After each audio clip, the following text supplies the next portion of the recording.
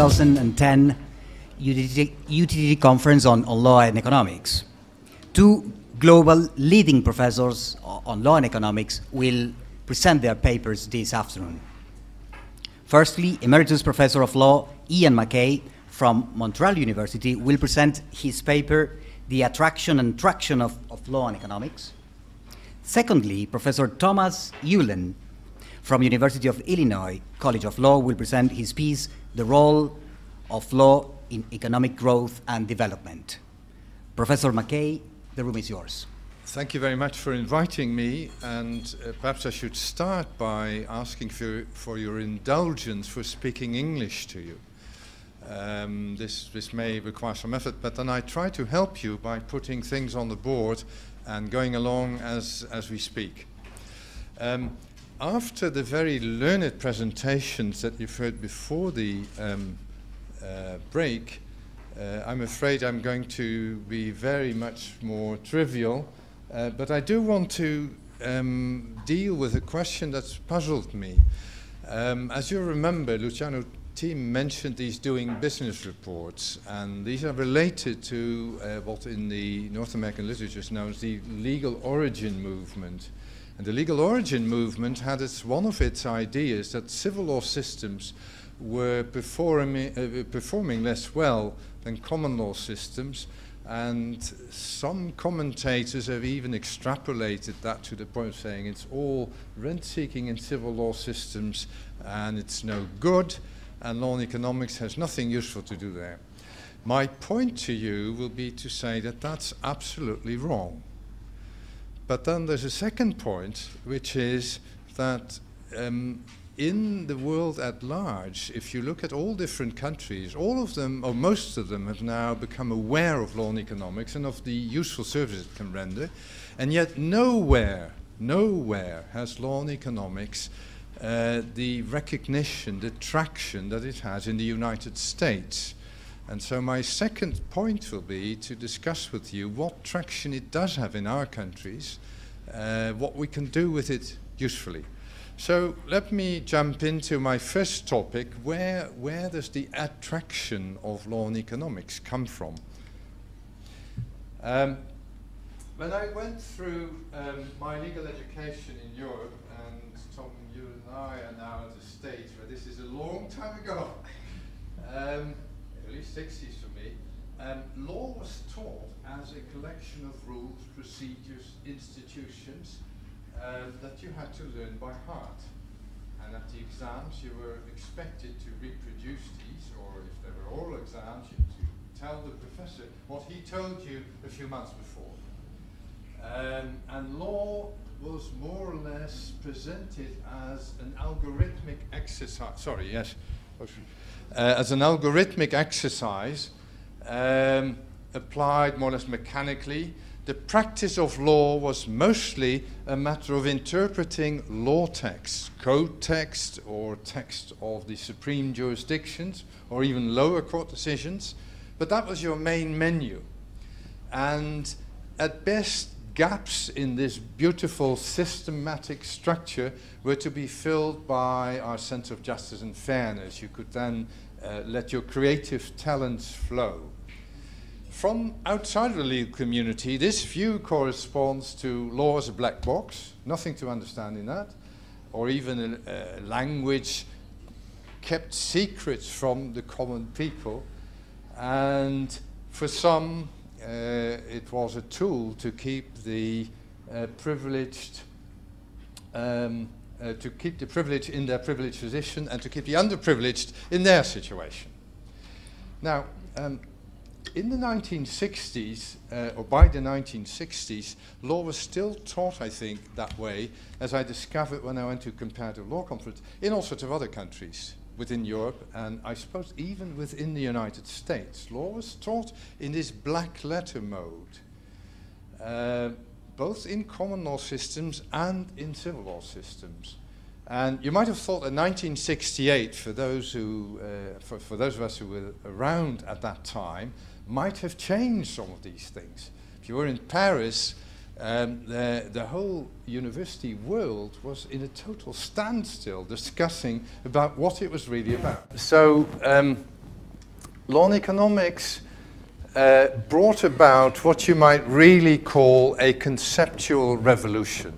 And I remember in the 70s, you couldn't open a law review in the United States where you wouldn't find at least one article, and sometimes the whole lot of them, trying to apply law and economics insight to yet new institutions that we hadn't thought about. It was like a new tool that absolutely fascinated the legal community.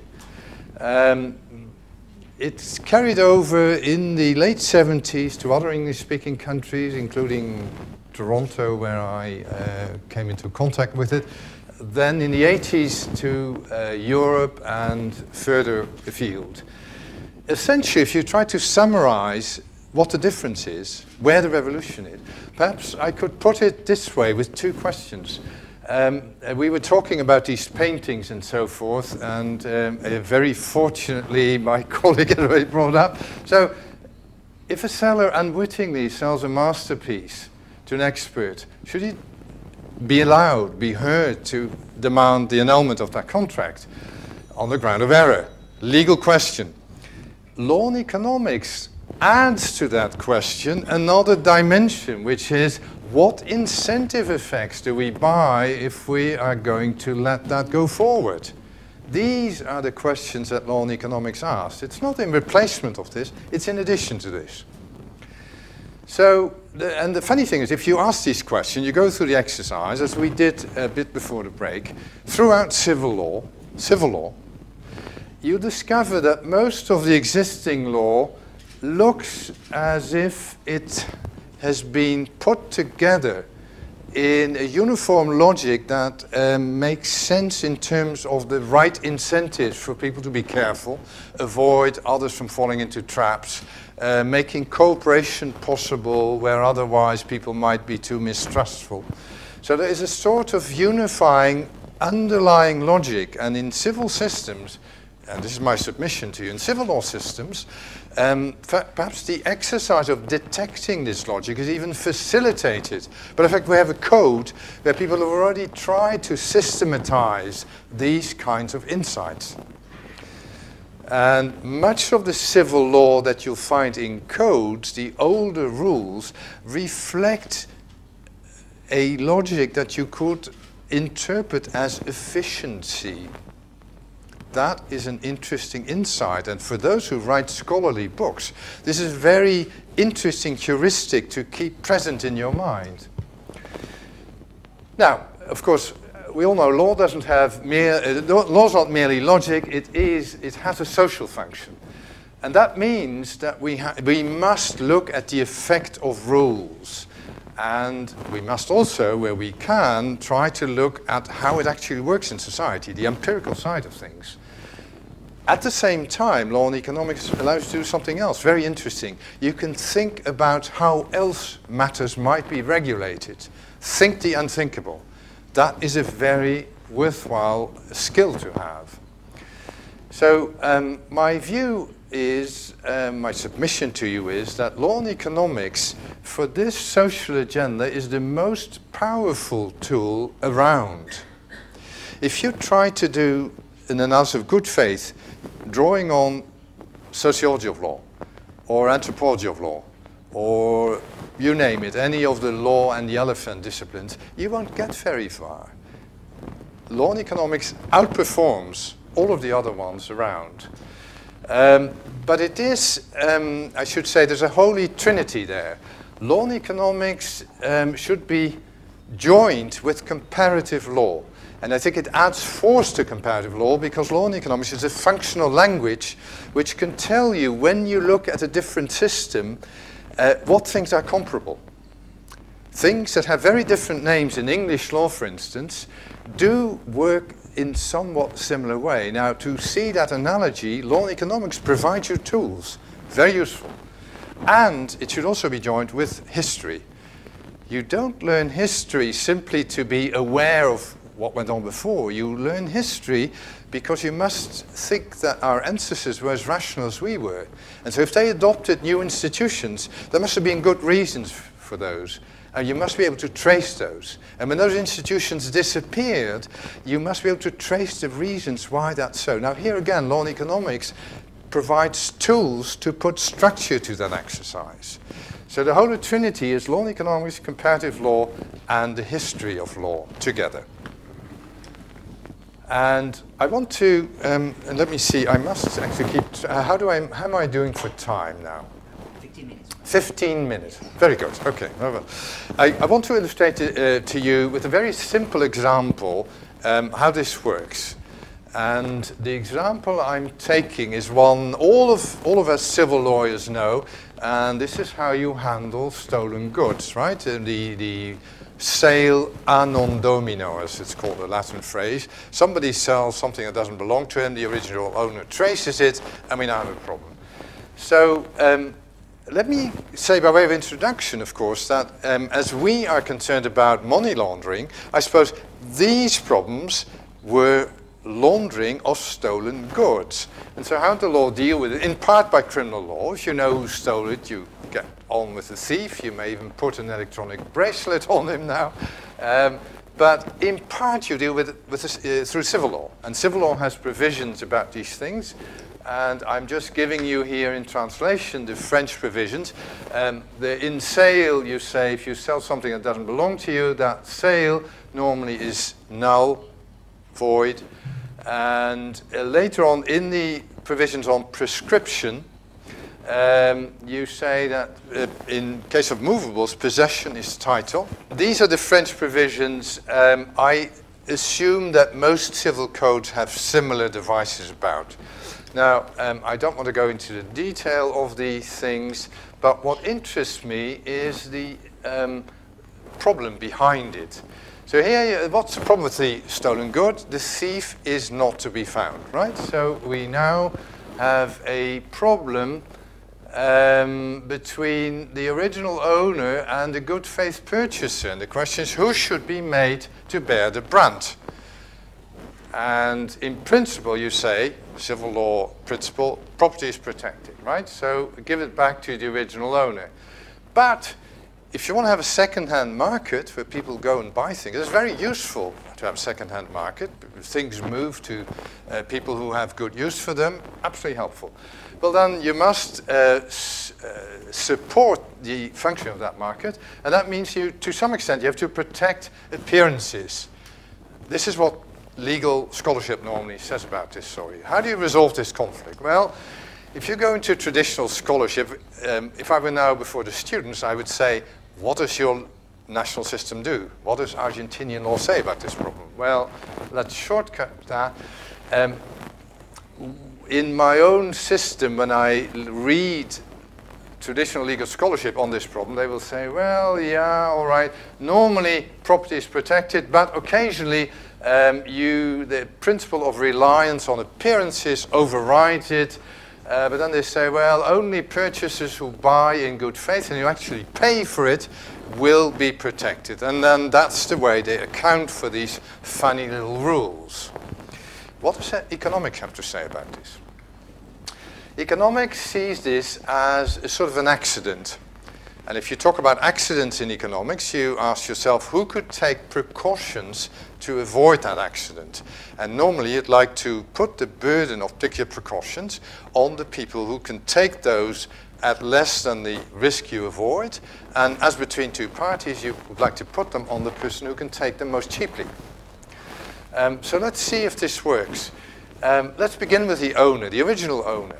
Um, normally we make the distinction between voluntary loss and involuntary loss of dispossession.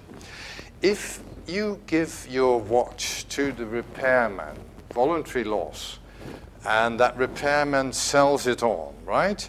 Uh, then normally the law says, well, um, you may not get it back. But the economic side of that is simply you are the best person, the best placed person to decide whether that person is trustworthy or not. And so you should take those precautions. If you, if you don't, voluntary loss, but things being sold on, uh, then the third party is, has the better right, is more protected than you will be. You are penalized for your lack of care. On the other hand, if you were careful and um, your dispossession was a matter of theft or, or loss, then things become a bit more complicated, and we now have to look uh, at what the other party should do. So here we go. On the purchaser side, we, we're now in the case of involuntary dispossession of the original owner. So um, normally you say the purchaser must hand over the good to owners who trace it, right? Protection of property. But if the purchaser took the precaution of buying in a market or from a dealer in similar ware, where the formulas may vary a bit, then uh, the owners must reimburse. They can still claim their good, but they must pay the price that the original purchaser has uh, forked over. What's the interest in that rule? Well, you see, um, normally law and economics, efficiency consideration would say you leave things in the hands where they are most valued, where they are valued highest. Um, who makes that decision? Well, in this case, we say um, we like to uh, put that decision to the original owner. So we say, all right, the purchaser paid this price. If you value it more, you can get it back. If you value it less, it stays in the hands of the purchaser. In either case, the good will move to the hands in which it's valued most highly. Finally, bad faith purchasers are, of course, never protected. That is uh, immediately obvious in an incentive logic perspective. So what have we seen here? Quick sketch it's obvious that there is a division of burdens between the parties that has something to do with uh, the cost of taking precautions. Uh, it looks like an efficient organization of matters. Um, and so, of course, in our day, uh, the practical uh, importance of these rules is, is diminished tremendously because of insurance. But what I want to show, if you go through the civil code this way, all through you find this kind of logic. So there is an underlying, as it were, efficiency logic which whoever codified, consolidated these rules, um, installed in it, perhaps even without being aware of it. Good.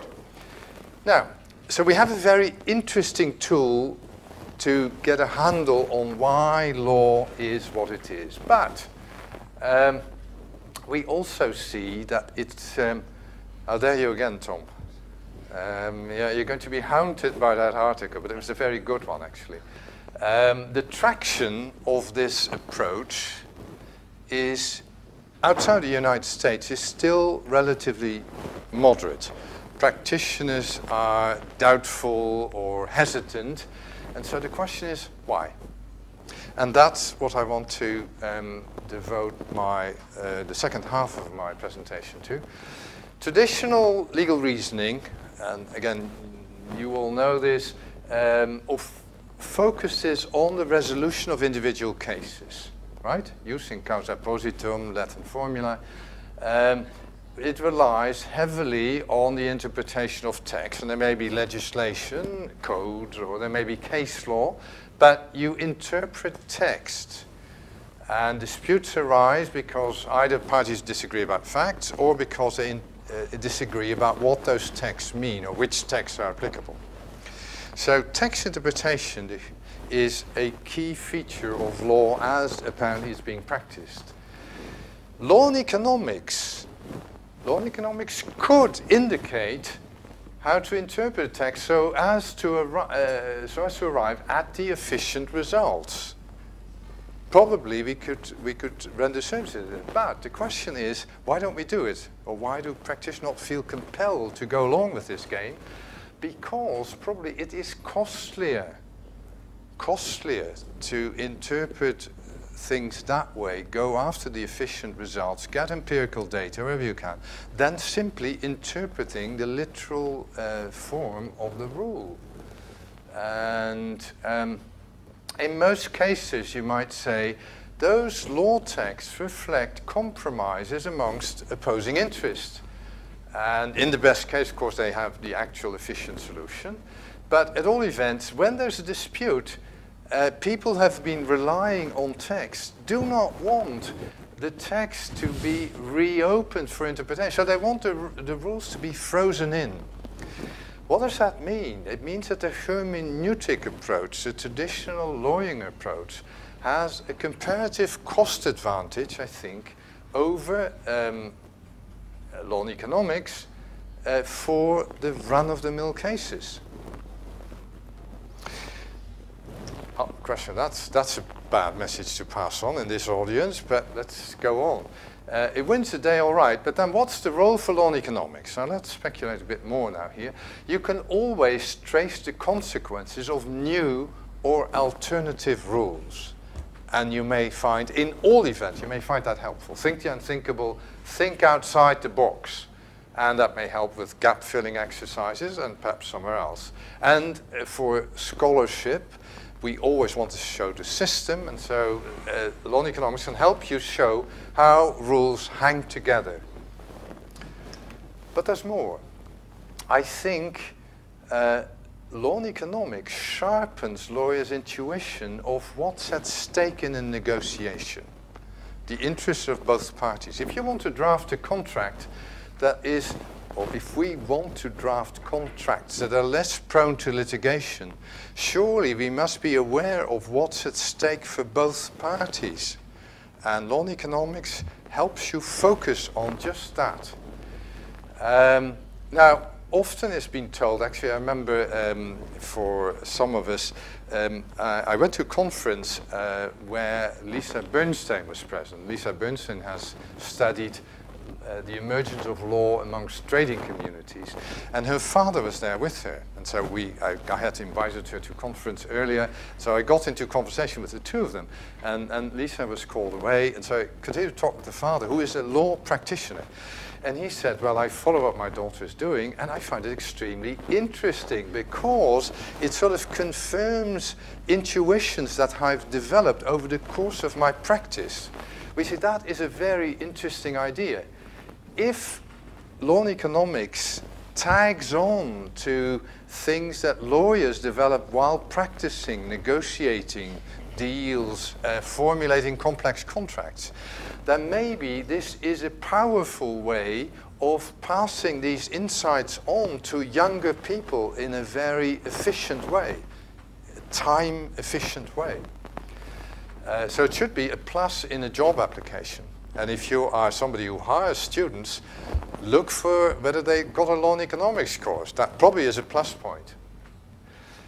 And last thought, um, in a globalizing world, what will be the key tools? They will not necessarily be knowledge of positive law, which you learned by heart and then repeated at the exam.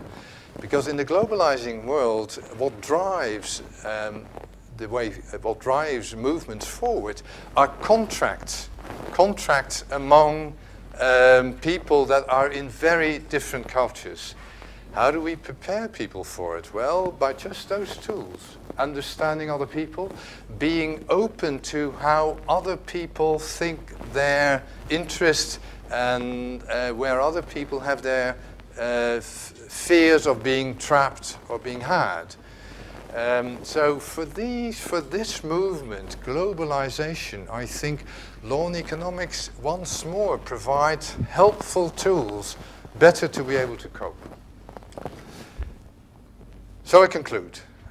I'm still within my time. I think law and economics is an important legal development. It's not a mere fad.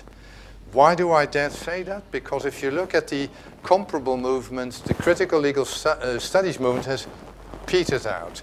Law and feminism integrated what useful insights they had, petered out. And you go through the gamut of new intellectual movement that in particular American legal scholarship has gone up with. Um, law and economics is probably the only one that has an enormous staying power.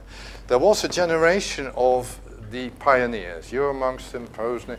But there's now a generation of the sons of that generation who have taken over and do again significant work.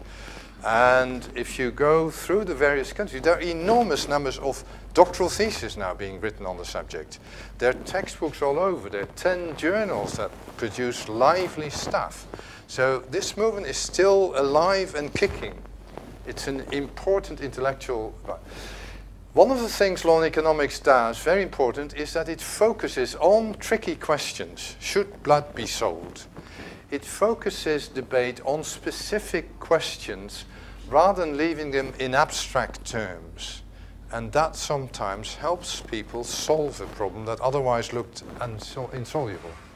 Opens the way to empirical research. New, we can finally know what we should look at. And in a number of cases, we have come up with interesting new insights that we didn't expect. It's a cousin to comparative law, and um, it allows, as we already said, think the unthinkable.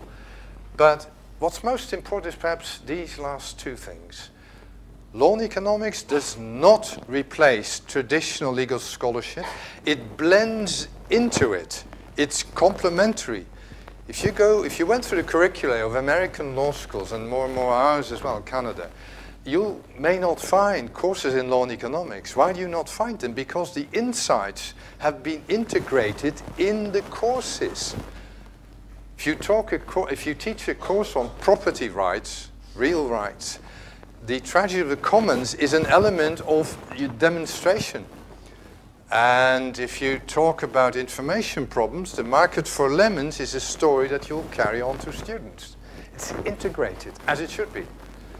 And so my closing message will be, for lawyers, it should be, I would think, at least advisable, if not almost mandatory, to have both sets of skills. Thank you very much.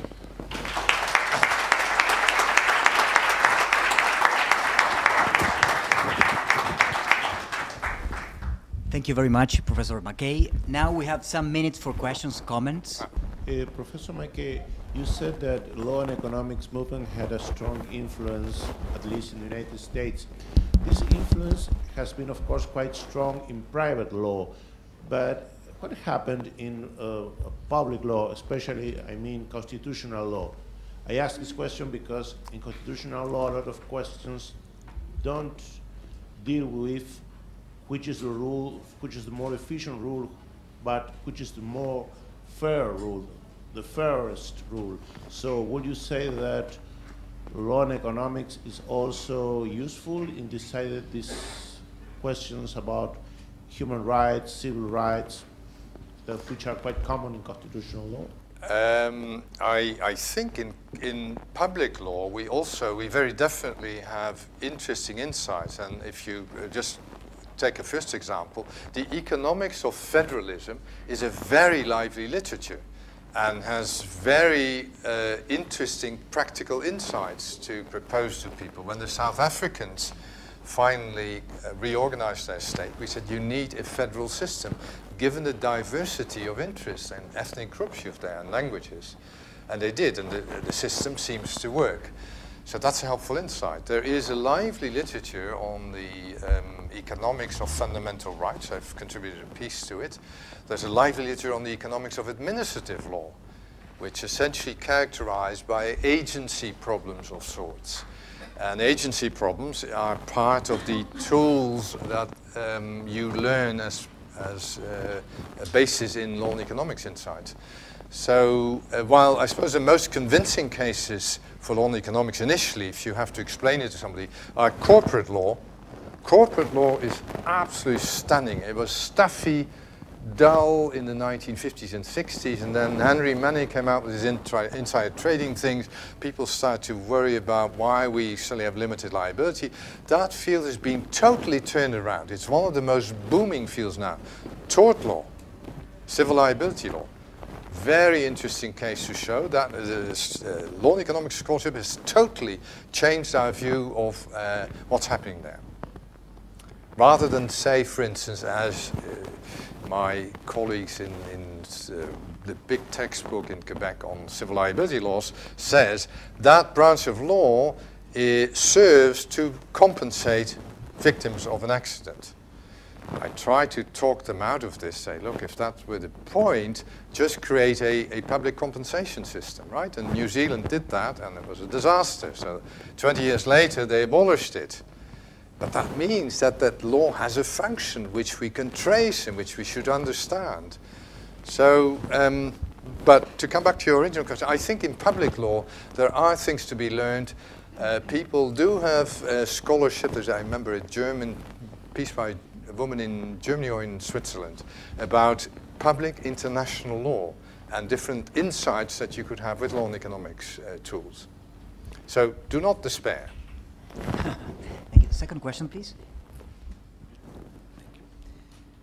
No, I, I was thinking that maybe, if possible, replacing uh, traditional legal uh, formalism for law and economics might, might not be even efficient because legal culture is a complex of a super game with a lot of equilibriums that have been developed through history and accumulated experience.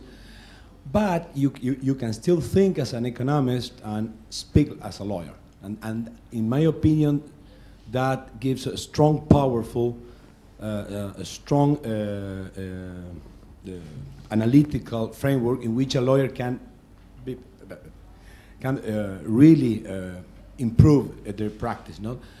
But I remember, for example, Buchanan thinks that uh, law and economics is more useful for legislation than for practicing, and they, maybe that could be an interesting difference, no? And also, I think that, for example, there are some cases which uh, have a lot of external effects, and the rules not very clear, and also you might find conflicting uh, rules in that area. And what I've seen that, for example, in, in, in the cases in, in the Supreme Court, those cases, they always tend to include some kind of uh, economic reasoning because of the strong legal effects of the decision, because of the, normally they find conflicting rules, or maybe there's no rule, or maybe the way you have to interpret the rules is not so clear. So I might tend to think that economics argument might be more, uh, uh, have a, a, strong reception maybe uh, when you legislate, or maybe when you have a case in, in the Supreme Court, or when a, big cases where have a strong external effects or rules are not clear. And also you have still have a major distinction uh, distinguishing different areas of law, no? Some areas with economics more explicit, no? But I don't know, it's maybe a general well, idea have. I, I, I, am with you all the way if you say that for competition law, you want to be aware of economic insight to, to be useful at all my submission to you has been even if you're in traditional law practice, you may be a better lawyer, a better negotiator, a better contract drafter if you have these kinds of insights. I'm also with you to say that maybe the direct application of these insights is more prevalent when you talk about new legislation. But when are new problems, for instance, um, things that have newly become scarce, right? Body organs. Should those be tradable? What happens if you prevent trade? You can always say, um, yeah, but if you prohibit these things, you get a black market, and we can tell you something about black market. You can virtually always, uh, with law economics insights, you can say something about the effects of particular decisions. So let me leave it at that because. Thank you very much, Professor Mackaay. Thank you.